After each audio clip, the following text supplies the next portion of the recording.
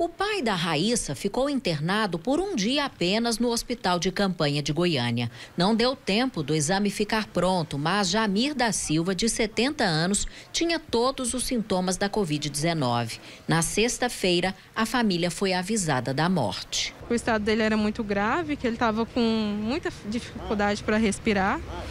E, e aí eu chego, a gente chega para estar tá indo levar ele, né, já para fazer o velório e ter essa notícia. A filha foi chamada para reconhecer o pai, mas diz que na hora não conseguiram encontrá-lo. Eles entraram lá, informaram que ele não estava lá na câmera fria, que provavelmente ele estaria no leito, mas não era o certo, porque já tinha mais de um dia que de falecimento.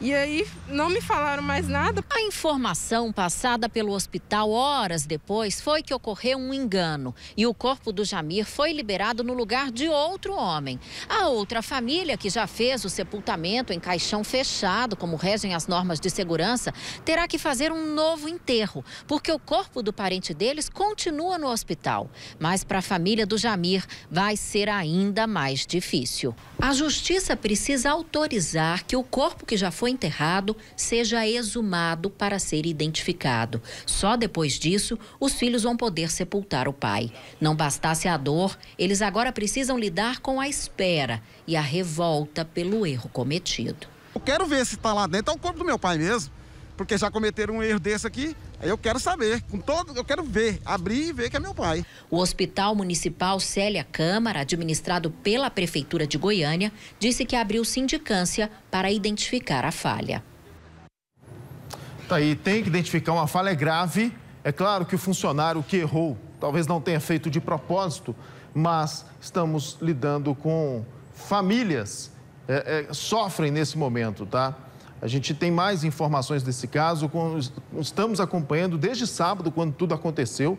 Trouxemos a informação aqui no Balanço Geral de sábado e a gente continua também acompanhando de perto, junto com os familiares, essa dor, esse sofrimento aí de ter que, que sepultar o corpo errado, Mariana. Que loucura, né, gente? Parece história de filme. E o filho do seu Paulo, que acabou enterrando o corpo do Jamir no lugar do pai, também não se conforma com o erro que teria acontecido no hospital. Vamos ouvir o que ele disse. Complicado. A notícia da, da morte dele já foi muito forte para a gente. Nós somos só nós três em casa, eu, meu pai e minha mãe. E perder ele já foi algo bem difícil para a gente.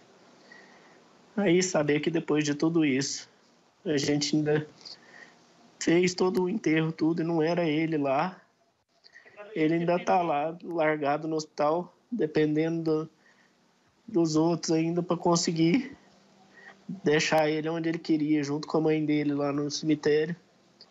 Muito mais difícil, ainda mais agora que eu comecei a sentir mal. Mesmo que tenha a oportunidade de um segundo enterro, provavelmente não vou poder estar presente igual eu estava no primeiro. É bem difícil.